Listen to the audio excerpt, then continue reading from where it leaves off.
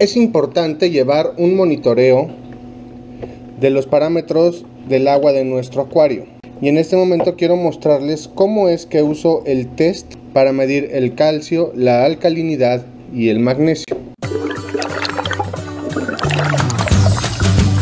Viene en esta cajita de plástico y lo que te incluye son tres viales para medir los tres parámetros calcio, alcalinidad y magnesio. Ustedes pueden marcarlos con un plumón o como como ustedes gusten. Yo los tengo por de memoria. Sé cuáles son los que utilizo para cada suplemento. Viene con un triator que es el que se le colocan las jeringuillas para ir añadiendo por goteo los líquidos. Viene el líquido para la alcalinidad, viene para el calcio, que son estos tres de aquí, y viene para el magnesio, que también son estos tres. Entonces, para la prueba de alcalinidad, solo utilizamos un solo líquido. Para el de calcio, son estos tres y para el magnesio estos otros tres. Incluye sus tres jeringuillas que traen las puntas de diferente color para no confundir las jeringuillas y mezclar los líquidos por accidente, si no las pruebas saldrían mal. Yo en mi caso utilizo la transparente para el magnesio, la azul para el calcio y la roja para la alcalinidad. Viene con sus tres tablas de medición que son la alcalinidad, el calcio y el magnesio. Los valores recomendados para cada uno de estos es para la alcalinidad un 9.0 de DKH. Eso es lo recomendable en la alcalinidad. Para el magnesio es recomendable 1360 como mínimo. Yo lo uso mucho más alto. Yo personalmente lo tengo de 1600 a 2000. ¿Para qué? Para controlar las algas en mi acuario. Subir el magnesio hasta un valor de 2000 partículas por millón te ayuda mucho a controlar las algas. Como saben, hace poco comenté en un video que tuve problemas con las algas filamentosas en mi acuario porque descuidé un, un tiempo los parámetros. No siempre todo sale bien, entonces se me dispararon los niveles de fosfatos porque en el pequeño acuario que tengo al lado para cultivar los corales se juntó mucho detrito que son desechos orgánicos, arena, todo lo que se acumula que es como lodo, como tierrita y no me di a la tarea de limpiarlo, entonces eso me disparó los fosfatos, pero ya se han ido controlando poco a poco, de hecho ya se ve mucho más limpia la pecera, se ve más el alga coralina en otros videos se pueden dar cuenta que en la parte del vidrio de atrás ya se estaba acumulando mucha alga filamentosa y entre los corales, en la parte de en medio y aquí arriba, todavía hay algo pero ya está desapareciendo. Metí caracoles turbo para controlar el alga, metí un come algas y hace poco también conseguí un pez, un pequeño, un fox y se la pasa eliminando el alga del acuario todo el día y es un pez muy hermoso y no, no ha tenido problemas hasta ahorita con los demás peces. Entonces, como les iba comentando, mantener los niveles de magnesio y calcio estables te ayuda mucho a controlar las algas en tu acuario. Si tienes problemas de algas en tu acuario, te recomiendo que hagas un cambio parcial y que eleves los niveles de magnesio hasta 2000 si puedes, 2000 partículas por millón y un nivel de calcio, que es a donde paso ahora, que lo aconsejable son 450 partículas por millón. Así lo tengo yo normalmente. A veces se me pasa un poco, se me va a 500, no pasa nada. A veces lo tengo bajo. Hace poco, cuando les dije, cuando les comento que descuidé los parámetros del acuario, lo tenía en 350 el calcio. Pero ahora ya está todo otra vez en su nivel. Y pues les voy a mostrar cómo es que hago los test. Lo primero que vamos a hacer es llenar el primer frasquito con, agua del acuario. Vamos a llenarlo. Lo que yo les recomiendo que hagan primero es que enjuaguen su frasco con agua del grifo o de la llave. Lo enjuaguen bien, bien, bien. Y después aquí en el acuario van a tomar agua del mismo con la jeringuilla. La van a colocar en el envase y lo van a enjuagar dos o tres veces con agua del mismo acuario. para que no quede ningún residuo ajeno al agua de la pecera. Una vez enjuagado el frasco van a tomar 10 mililitros de agua del acuario y los van a colocar aquí en el vial. Y entonces vamos a proceder a medir la alcalinidad. Bueno, pues una vez que tomamos el agua del acuario, vamos a tomar el líquido de nuestra primera prueba. Para la alcalinidad, vamos a sumergir la jeringuilla, la punta la vamos a sumergir lo más que podamos por aquí. Si la sumergen hasta acá tampoco hay problema, inclusive pues recomiendan hacer eso por si hay alguna entrada por error de aire y que nos altere la prueba. Entonces sí, lo recomendable es sumergirla hasta después de la punta roja. Lo que vamos a hacer ahora, vamos a tomar el líquido y lo vamos a poner hasta donde marca un mililitro. Donde marca aquí en el final del tapón. Esta punta negra no la tomen en cuenta. No suban esta punta negra, esta de aquí, no la vayan a poner hasta el mililitro. Es solo aquí, en el límite del tapón. Esto que ven aquí, este exceso de goma negra, es para compensar lo que está acumulado en la punta de la jeringuilla. El líquido que está acumulado aquí es el equivalente a lo que falta de la punta de la goma negra hasta donde marca un mililitro. ¿Ok? Mucha gente se confunde con eso. Hasta dónde llenar la jeringuilla. Y yo me incluyo en eso, es que cometí el error de subir esta punta hasta donde marca un mililitro y no esto de aquí que no tiene líquido se compensa con lo que está en la punta de la jeringuilla ok bueno pues ya que quedó claro ese asunto tomamos el triator y colocamos la jeringuilla en él con cuidado de no tirar el líquido lo vamos a enroscar en nuestro frasco. Ya que tienes más o menos idea de los parámetros de tu acuario, porque recomiendan ir gota por gota, hacerlo una gota y mezclar, una gota y mezclar. Pero ya que tienes conocimiento de ello y que sabes más o menos por dónde están los parámetros de tu acuario, yo me voy a ir hasta en medio, todo el líquido, porque sé más o menos por dónde está la alcalinidad de mi acuario hasta aquí y no pierdo tres horas echando gota por gota. Ese es para ahorrar tiempo. Entonces aquí en la tabla de medición, en la parte de atrás donde te indican las instrucciones de cómo hacer la, la prueba, te indica que va a iniciar con un color azul, que es el que ya tenemos aquí. A partir de aquí voy a ir agregando poco a poco, gota por gota, hasta que me dé un color anaranjado y es ahí donde vamos a saber cuál es la alcalinidad que tiene el agua. Vemos que ya va cambiando poco a poco, ya tomó un tono amarillento, yo creo que una gotita más y ahí alcanzamos más o menos el color anaranjado. No sé si en la cámara se puede distinguir bien, pero hasta aquí que ya obtuvimos nuestro color, dejamos de añadir el líquido y vamos a contar desde donde indica 1, vamos a contar en la siguiente raya 10, 20, 30, 40, 50, 60, 70 es donde llegó nuestra goma negra. Recuerden que esto no se toma en cuenta, el exceso de goma, solo hasta aquí, el límite de la goma gorda. Volvemos a contar. 10, del 1 al 9 son 10, 20, 30, 40, 50, 60, 70. Esto nos está indicando que tenemos 70.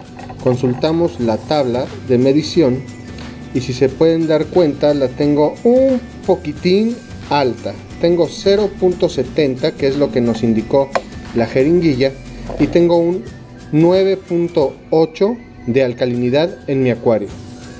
Es casi nada, no pasa nada, no es preocupante. Ese 9.8 en el transcurso del día de hoy puede bajar hasta 8.7 de acuerdo a lo que consume mi acuario por el número de corales que tengo, la demanda de alcalinidad, calcio y magnesio. Eso también es otra de las cosas que tienes que checar. Depende La población de tu acuario es el consumo diario de estos tres elementos. No todos los acuarios consumen lo mismo.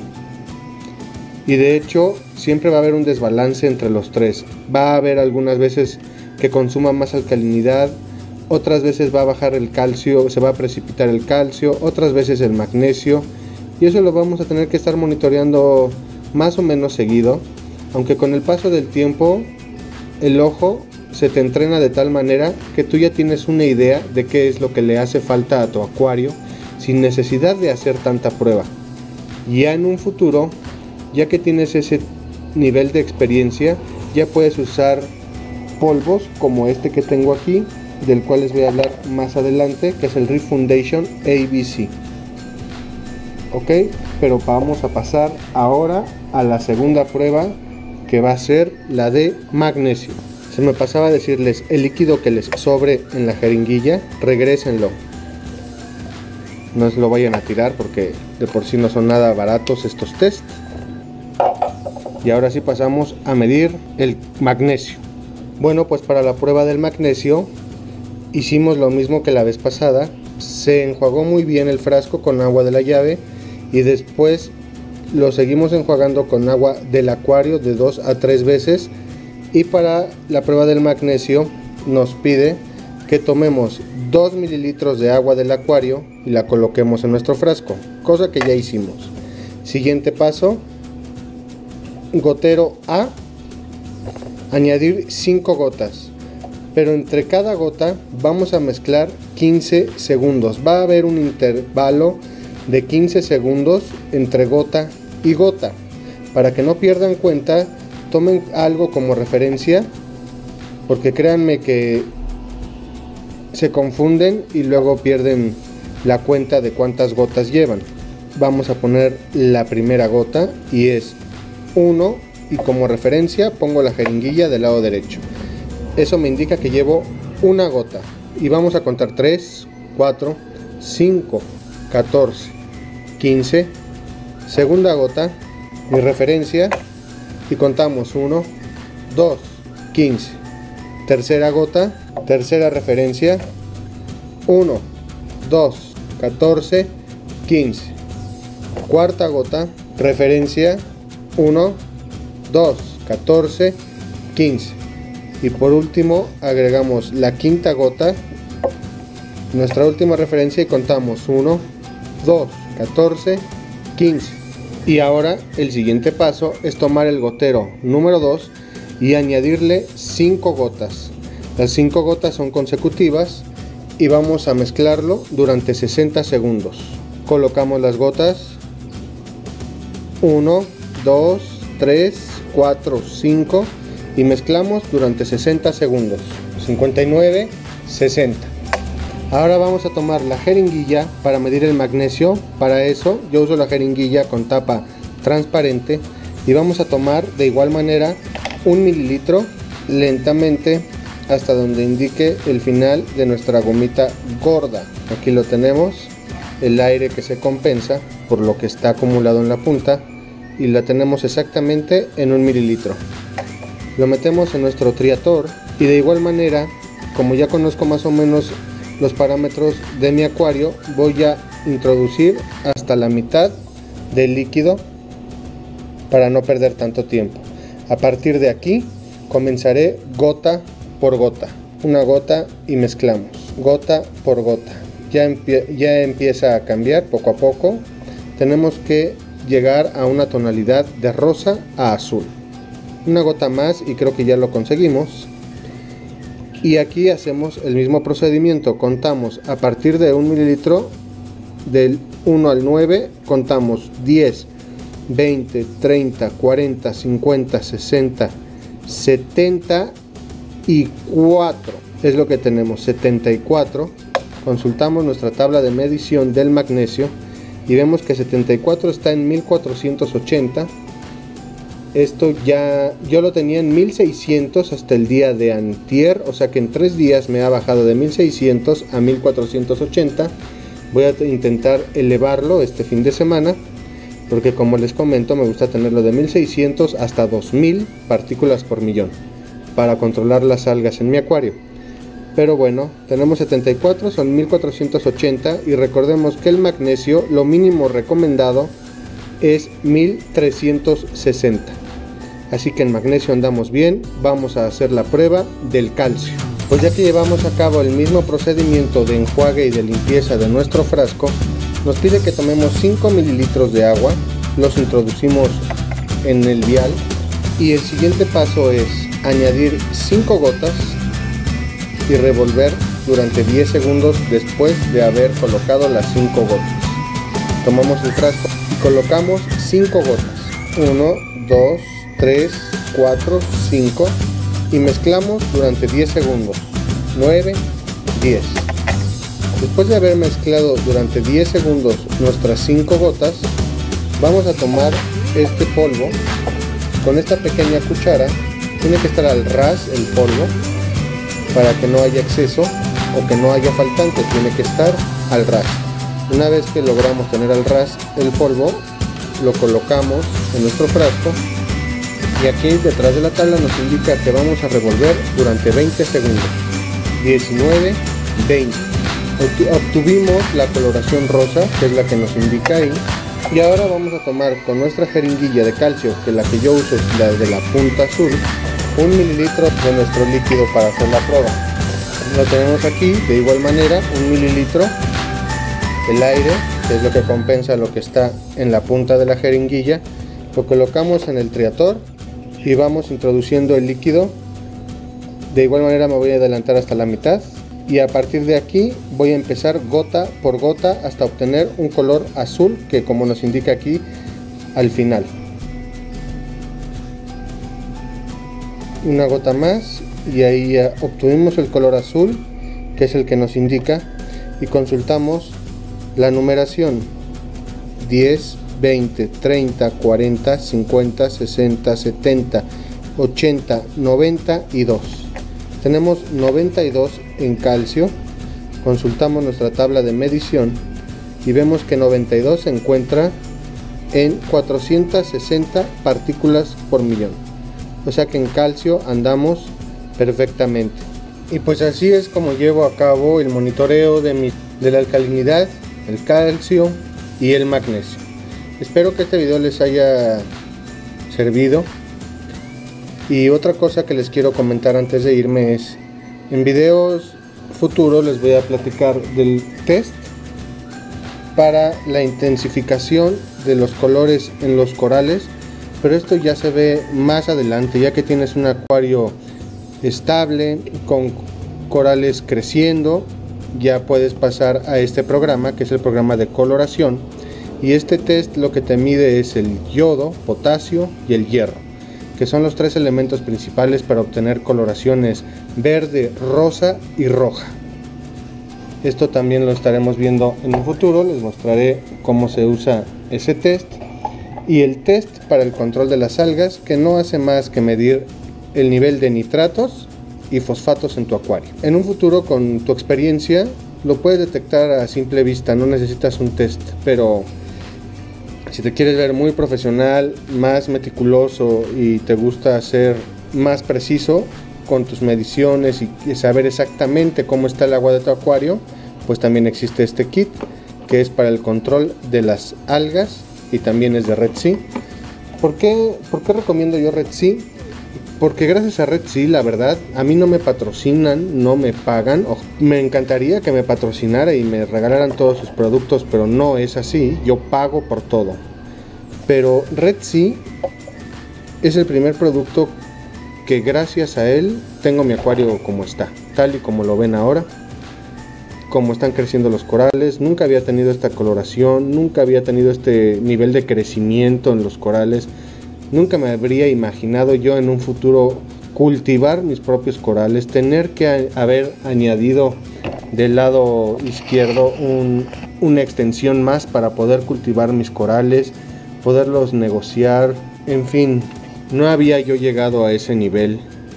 Y gracias a estos productos que son muy fáciles de usar, te explican muy claro qué es lo que tienes que hacer paso por paso es como yo he obtenido los resultados que ven en mi acuario. Después les hablaré de otros productos más que utilizo como el Nopox, que es yo le llamo el alma de mi acuario, el Nopox. Yo utilizo igual los productos de Red Sea para subir los niveles de mi acuario. Este es el calcio, este es para la alcalinidad y este es para el magnesio.